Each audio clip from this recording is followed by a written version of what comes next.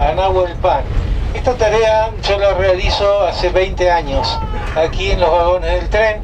Seguramente si han visto algunos videos documentales me habrán visto cantando, trabajando con la música patagónica que no se conoce mucho. Conocemos dos o tres autores de la Patagonia, Jiménez Agüero, Marcelo Verbel, pero en sí la trova patagónica viene caminando hace aproximadamente 50 años en todos los territorios. Siempre hay cantautores que trabajan con la letra, con la poesía y con la música de las regiones, trayéndonos a veces la realidad cruda, las historias escondidas que tiene la Patagonia. Y esa es la tarea que se ha impuesto hace muchos años y se han puesto al hombro los trovadores patagónicos.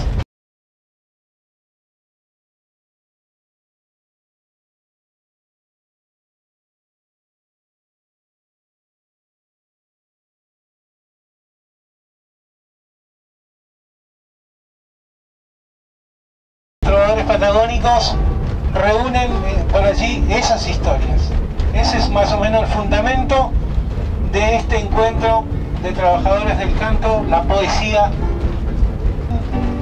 Y muchas gracias por elegir este viaje. Muchas gracias.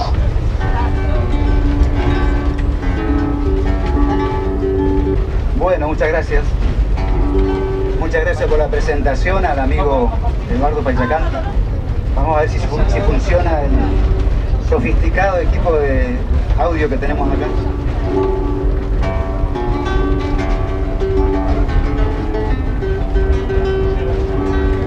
A veces cuando está todo cercado de contravientos, trepo a las alas del sueño y vuelo hasta el instrumento. Entonces cuando me agobian discursos y reflexiones, una brisa de bordonas me refresca las razones. Una brisa de bordonas me refresca las razones.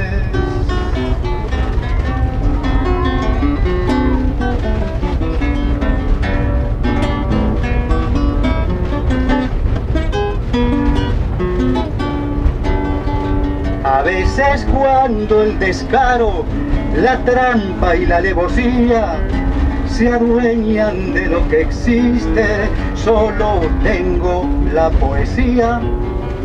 Entonces cuando presiento menucos de verborragia, una brisa de borbonas desembarra mi esperanza, una brisa de bordona desembarra mi esperanza. Sencillita, pero sonaba el acordeón y todo el mundo salía a bailar. Así que esta es la polka de Doña Encina. Y se llama Doña Encina porque le gustaba a Doña Encina nada más.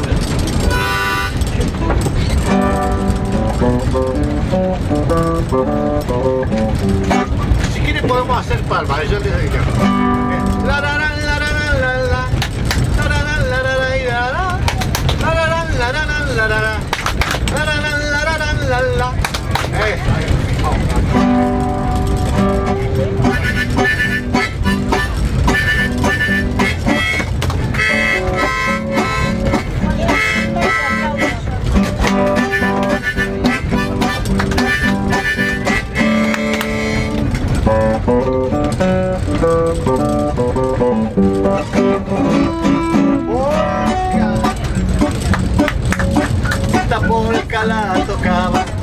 En el acordeón y mi tía la bailaba en el verde cañador.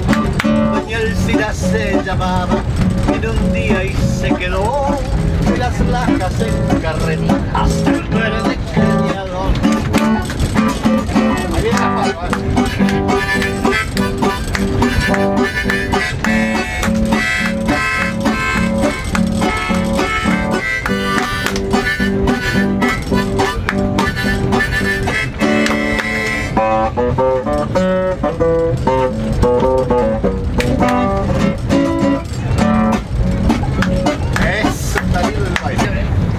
行行行